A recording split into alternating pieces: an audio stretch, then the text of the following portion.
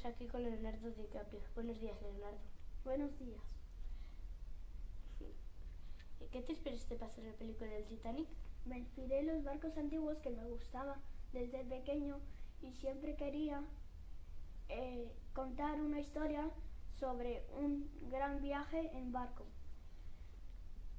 ¿Dónde naciste?